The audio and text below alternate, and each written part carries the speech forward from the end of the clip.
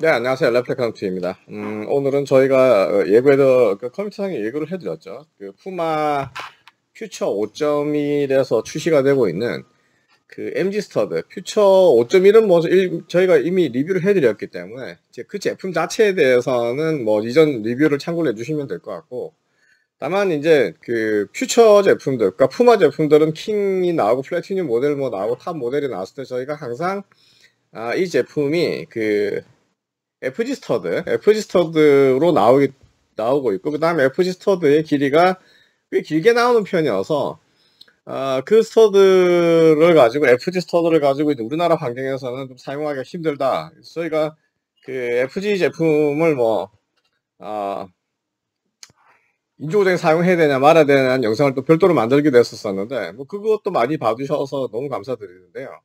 어, 대신에 그 푸마 제품에 이제 그 요 퓨처 5.1 제품 이 제품은 생각보다 많은 분들이 사용을 하고 있는 것 같아요. 그러니까 저희가 뭐 소개를 해서 그런 건 아니고 아 제품 그러니까 그 니트 축구화로서의 완성도는 상당히 높기 높고 그 다음에 니트의 특성이 그대로 다 드러나는 제품이어서 아마도 이제 많은 분들이 이 제품을 사용을 하고 싶은데 저희가 말씀드린 바와 같이 어, 스터드의 높이가 기존 FG 제품이 너무 높기 때문에 예, 그래서 이제 국내에서는 망설여지고 그렇게 되고 어, 그렇다 그래서 이제 그 일본에서는 HG 제품이 출시가 돼서 FG 스터드보다는 훨씬 낮은 형태고 라운드 형태로 나와서 일본 같은 경우는 이제 천연잔디, 인조잔디, 뭐 맨땅 이런 데 다 커버할 수 있도록 제품이 나오긴 하지만 국내에서는 또 그 일본식 HG가 나오질 않죠. HG가 나오질 않는데 공교롭게도 그 푸마에서는 그 지금 현재 뭐 대표적 사일로라 그러면 퓨처와 원인데 원에서는 이 그 MG라는 제품을 갖고 있는 제품이 나오지를 않는데 비해서 퓨처 제품에서는 뭐 그 4.1에서 나왔는지 제가 기억이 안 나는데요. 5.1에서는 어쨌든 요 그 MG 스터드라는 게 나왔습니다. 그러니까 아 푸마에서 말하는 MG 그러니까 그 푸마에서 말하는 MG 제품이라고 하면 MG는 뭐 말 그대로는 이제 multi ground multi ground 그러니까 multi라는 거는 여러 가지 그라운드에 이제 다재다능하게 적용이 가능하다 아, 그런 관점에서 제품명이 명명이 되긴 했는데 그러면 과연 이, 이 MG 스터드가 푸마 측에서, 측에서 얘기하듯이 이 MG라는 multi ground 환경을 과연 충족시켜 줄 수 있느냐 하는 이제 문제가 있어요. 그러니까 보통은 저희가 이 MG 스터드가 나왔을 때만 하더라도 뭐이 MG 스터드는 이제 일본식 스터드가 아니냐 하는 생각을 처음에 추측을 했었었어요. 왜냐하면 아, 국내에 나오지가 않고 일본에 일본에서 아마 그 앞 모델이 나왔었었나요? 그래서 뭐 맨땅과 그 다음에 어 천연잔디, 인조잔디 이런 데를 다 두루 섭렵을 할 수 있다. 이제 이런 관점에서 이 스터드를 우리가 생각을 하게 됐고 어, 그러나 문제는 스터드가 지금 보시, 이, 하, 이 패턴 무늬 때문에 잘 보이지가 않는데, 이 스터드가 굉장히 여러 개 있어서, 어, 뭐 이제 이렇게 스터드가 낮고 이러면 이제 저중심에 그 스터드 압력이 분산이 되는 효과, 이런 것 때문에 그 바닥이 편해지는 효과가, 아, 발바닥이 이제 그 스터드 압이라는 거 아예 이제 없어진다고 사실상 봐야 되기 때문에 비교적 편안해지는 느낌이 있고, 그 다음에 이제 어쨌든 퓨처라는 제품을 온전한 형태로 우리가 인조구장에서 사용할 수 있는 여건이 된다. 이렇게 되는데 이게 그 사실은 약간 좀 음, 모르겠습니다. 좀 저희가 그 FG 그 문제를 다룰 때도 가끔 말씀드렸지만 분명히 지금 이 제품은 그 박스 상에서 이렇게 예, 보는 바와 같이 이게 분명히 MG 제품이 맞거든요. MG 제품이 맞는데 어 프로 다이렉트, 영국의 프로 다이렉트에서는 이걸 AG라고 소개를 하고 있고요. 그 다음에 뭐 유니 스포츠 같은 데서는 정, 이 박스에 있는 그대로 이제 MG 제품이다 이렇게 소개를 하고 있어요. 근데 저희가 봤을 때 과연 이, 이 정도 낮은 스터드가 multi ground를 충족시킬 수 있느냐 요건을 이제 그 그게 상당히 의문이 남죠. 그러면 어, 이 MG 스터드라고 해서 지금 요 정도 형태의 낮은 그 스터드 형태.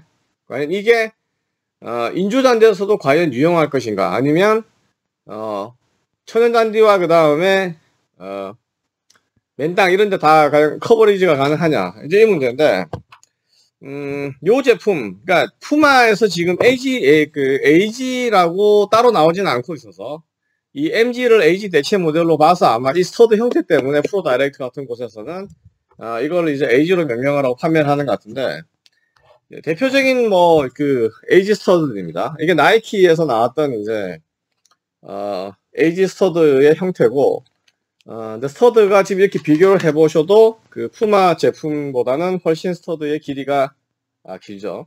그 다음에 요거는 엄브로 이제 이터널 제품인데 이터널 제품의 AG 스터드입니다. 그러니까 정식 명칭을 AG라고 갖고 있는 제품인데 이 이 그 이터널 제품은 이제 스터드 개수를 보면 어 굉장히 그 여기 지금 스터드 이게 잘 보이질 않아서 그런데요.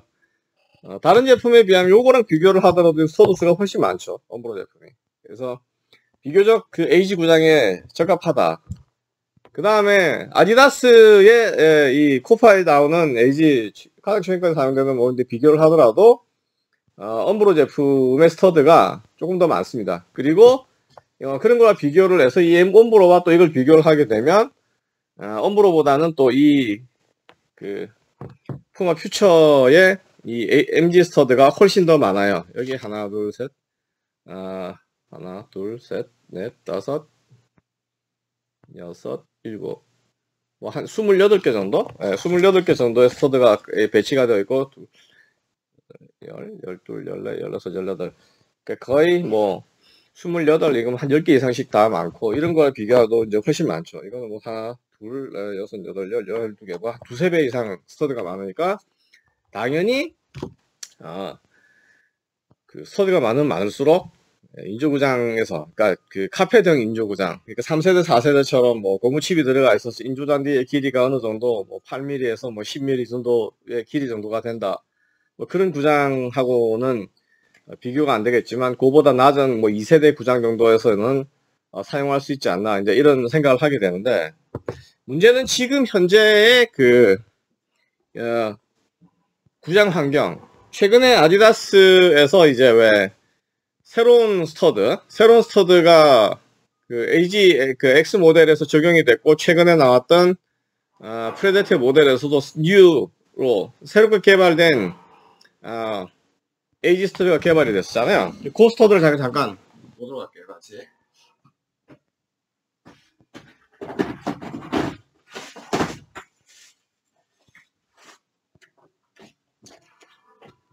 예, 여기 지금 있는 게 이제 저희가 요 그 X 같은 경우는 이제 AG와 HG를 조금 비교를 해보려고 지금 이 제품을 저희가 아 제품 자체를 그 협의를 했는데 분명히 여기에 보면 지금 아티피셜 그라스라고 되어 있는데 지금 현재 저희가 여러 번 여러 영상에서 말씀드리지만 이 제품들이 이런 형태의 제 제품의 구성이 돼서 AG라고 나오는 것들은 대개 뭐냐면 3세대, 4세대 정도에서 그 완전히 천연잔디에 가까운 형태의 인조조 구장, 잔디의 길이를 갖고 있는 구장 아니면 하이브리드 타입. 요번에 아마 유로 대회, 유로 20 대회가 그 11개국에서 개최되는데 그 중에서 모스코바도 아마 포함이 됐어요. 근데 모스코바가 추운 지역이어서 그 천연잔디를 생육시킬 수 있는 좋은 조건은 갖추고 있지는 않아서 지난 러시아 월드컵 때도 그 러시아에서 개최됐던 어, 경기의 상당수는 하이브리드 구장이잖아요. 그러니까 천연잔디와 인조잔디가 섞여 있는 형태의 그 잔디인데 그런 잔디를 기초로 해서 최근에 선수들이 사용하는 잔디 환경의 일부 변경, 변경된 거. 그러니까 그거를 고려해서 이제 스터드의 길이가 이렇게 길어졌습니다. 그러니까 요 정도 길이의 스터드들이 나오는 거는 한국에서 우리가 볼 수 있는 잘 관리된 어, 그 인조구장에서 충분히 사용한 가능한 형태라고 하지만 요 스터드의 형태도 마치 천연구장처럼 되어 있는 구장으로 가게 되면 이 스터드 길이가 약간 짧다고 느끼게 되죠.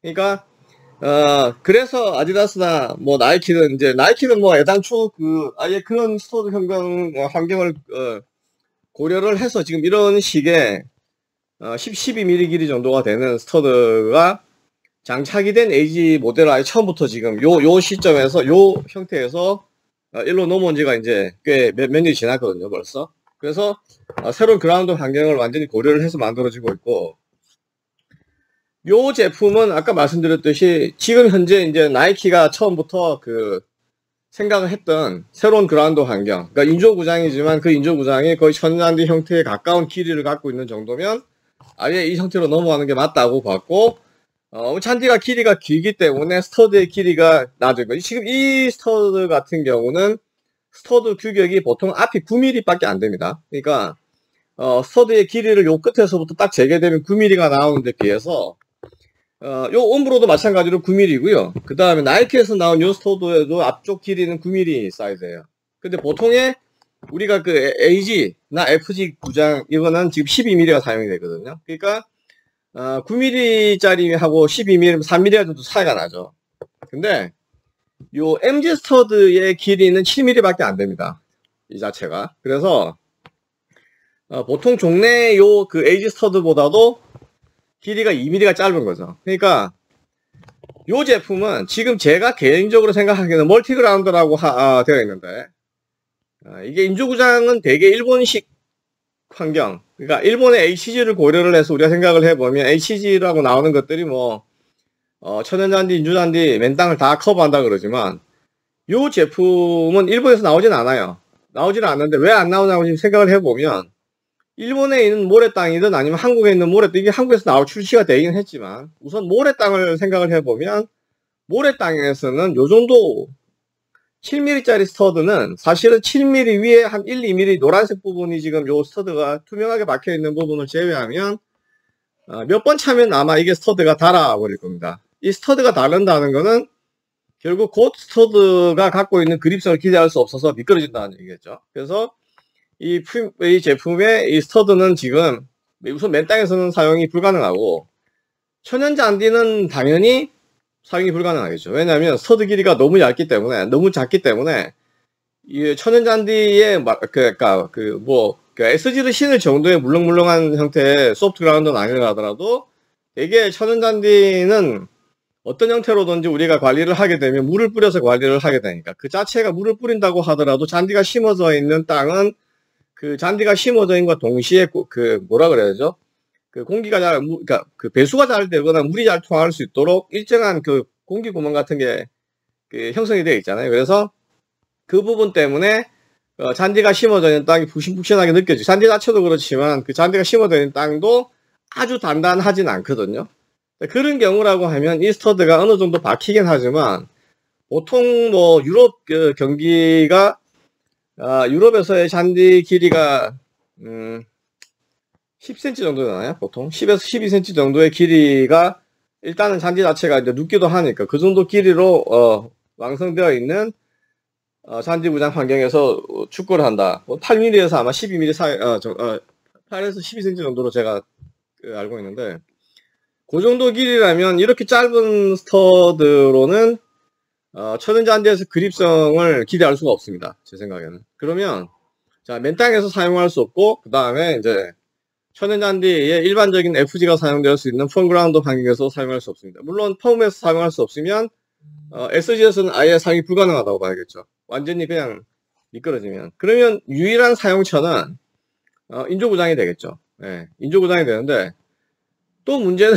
인조구장도 그 카펫형처럼 우리가 풋살을 즐길 수 있는 구장 같으면 사용이 가능하겠지만 그렇지 않고 3세대에서 4세대 사이에 있는 천연잔디처럼 길이가 일정 정도 이상의 긴 인조구장에서는 과연 이 정도 어, 7mm짜리 스터드가 견딜 수 있을까? 또 스터드가 예를 들어서 이렇게 지나치게 너무 많으면 어, 예를 들면 SG 같은 경우는 과거 이제 4개, 뭐 2개 되어 있는데 그 정도면 잔디, 스터드가 깊이 박히면서 어, 떤그 역할을 하지만 이런 식으로 이제 스터드가 굉장히 많아지면 이게 마치 이제 그 FG라든지 이렇게 듬성듬성 되어 있는 거에 비하면 또각 개개의 스터드가 어, 적극적으로 그 접지 과정에서 개입을 할 수가 없고 전체적으로 이, 이게 마치 그 하나의 표면처럼 이렇게 작동을 하게 되면 어, 뭐 잔디 상태가 아주 길지만 않으면 일정한 정도의 그립은 유지가 된다고는 하지만 제가 생각했을 때는 어, 9mm의 그 길이를 갖고 있는 이 스터드보다는 그립성에서 약간 떨어지지 않나 하는 생각이 들고요. 반대로 아예 2세대 이전에 완전 카펫형이라고 하면 이 스터드는 그 요 스터드가 갖고 있는 우레탄 특성 때문에 그라운드에서 오히려 미끄러질 가능성이 있어요. 그립성이 발, 발생되지 않고. 그러니까 그 이 제품은 지금 그래서 궁극적으로 보면 이게 MG라 해서 multi ground라고 소개가 되고 있긴 하지만 실제로 과연 이게 멀티그라운드를 다 커버할 수 있는 요건을 충족시킬 수 있느냐 하는 데서는 의문이다라는 겁니다.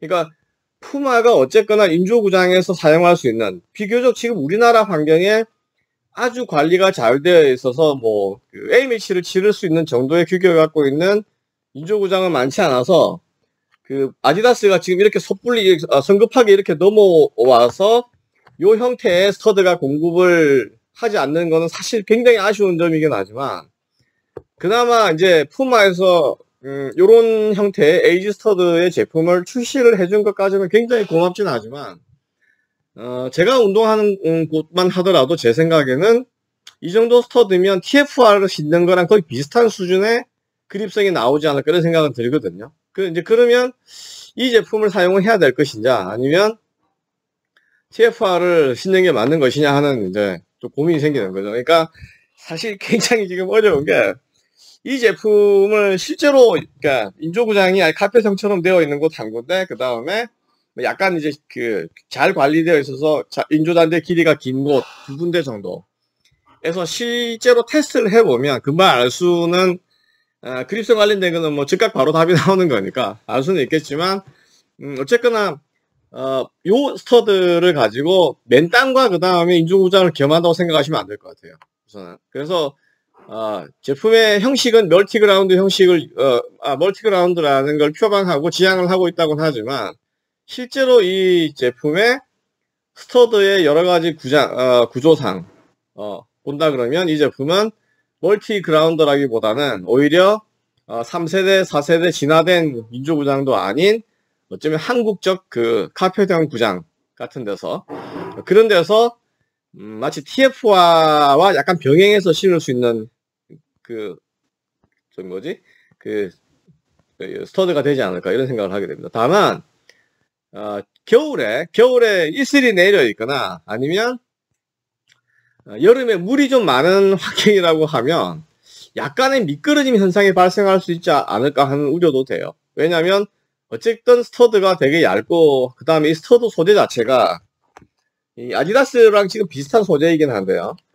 이 푸마라, 아, 이 엄브로라든지 그 다음에 아, 예전 나이키에서 나왔던 이런 스터드는 마치 러, 그 고무 같은 형태로 지금 같은 매끈한 우레탄 형태가 아니거든요. 근데 예, 우레탄은 마모에 강하긴 하고 경량성도 확보가 되긴 하지만 대신에 그 인조구장 같은 인조구장 자체에 들어가는 그 소재 그것들이 되게 이제 화학적으로 만들어진 뭐 비닐 같은 그, 그런 소재들이잖아요. 그래서 어, 자칫 혹시나 어, 이런 축구화가 어떤 미끌림이 발생하지 않을까 하는 약간의 우려가 따르긴 합니다. 그래서 어, 내핏 제품을 신어보고 싶은데 어, 인조구장에서 그 주로 운동을 하기 때문에 선택할 수 있는 여지가 요 MG밖에 없다고 하시면 어, 요 MG를 구입해서 신는 거는 좋으신데 다만 아까 말씀드렸듯이 이 제품은 FG로도 부족하고 맨 땅에서 부족하기 때문에 실제로 MG라고 되어 있는 게 예, 멀티그라운드를 다 소화할 수 있는 능력이 있는 축구화는 아니고 그 다음에 인조구장이라고 하더라도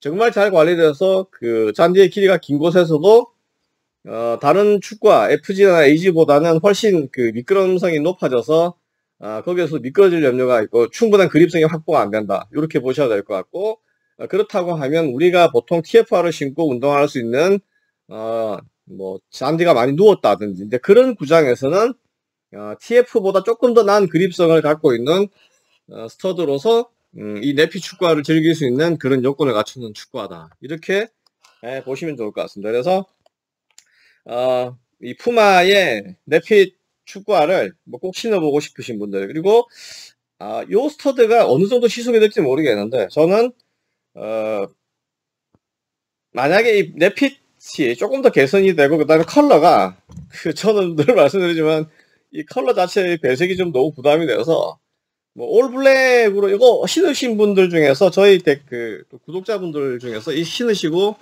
굉장히 편하다고 꼭 한번 사용을 해보시라고 추천하신 분이 계시거든요. 그래서 어, 발볼이 문제가 거의 안 생기기 때문에 이제 조캔과 관련된 문제만 남는데 컬러가 만약에 올블랙으로만 나와주면 어, 한번 시도를 해볼까 하고 생각 중에 있습니다. 다만 어, 저는 그 푸마도 이 네피 같은 것들은 좀 아, 어, 좀 바꿔야 되지 않을까? 굳이 이렇게 필요 없지 않나? 푸마는 이제 박스 안쪽에 NETFIT은 이런 식으로 해서 어, 네핏의 유연성에 대한 것들을 쭉 그 지금 요 표시를 해놓고 있거든요. 보면 어, 뭐 customizable lacing 시스템이고 incorporate into the 뭐, boot upper that can be. 그러니까 이 축구화 끈이 있음으로 하면서 이제 fit과 그 다음에 안정성을 도모할 수 있다는데 이런 것들이고 뭐 honeycomb 디자인이 flexible하게 돼 있어서 natural 자연스러운 움직임을 어, 지지해주고 그래서 이제 on the pitch 그 그라운드에서 이제 반응성과 에, 민첩성을 갖다 준 아, 그러니까 이, 추- 이 내피 끈이 있는 걸로 해서 어, 보강해 준다 이런 건데 그렇다 그러면 푸마에서 이렇게 내핏의 끈의 중요성을 역점을 하고 있다고 하면 반면 우리가 끈이 없는 운동 축구화는 지금 푸마 내핏에서 말하는 정도의 어, 끈이, 주- 끈이 주는 형태. 그러니까 요- 뭐 어쨌든 발을 단단하게 고정시켜주는 형, 기본 컨셉이기 때문에 이 끈이라는 건 기본 작용이 그거기 때문에 그런 점에서 끈이 없는 축구화는 지금 푸마가 얘기하는 뭐 뭐죠? 예. 아, fit and stability도 기대할 수 없고 그다음에 agility and reactivil 에, reactivity도 지금 기- 기대할 수 없기 때문에 끈이 없는 축구화를 구입하시는 분들은 반드시 한번 고려해봐야 되지 않을까 하는 생각이 듭니다. 네, 뭐 오늘 퓨마 퓨처 어, 5.1의 MG 스터드에 대해서 아, 간단하게 같이 살펴봤습니다. 네, 지금까지 시청해주셔서 감사합니다.